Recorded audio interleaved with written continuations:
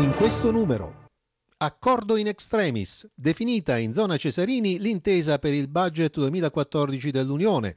Compromesso con la Gran Bretagna. Padoan e Artui soddisfatti. 5 Stelle critici. Che clima c'è a Lima?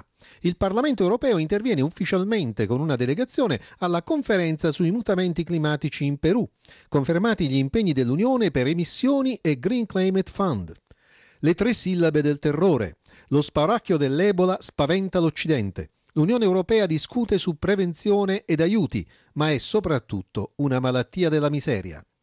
Conosciamo i commissari. Si conclude il nostro viaggio nella nuova Commissione europea, di scena Hahn, Hill, Mogherini e Juncker. L'intervista.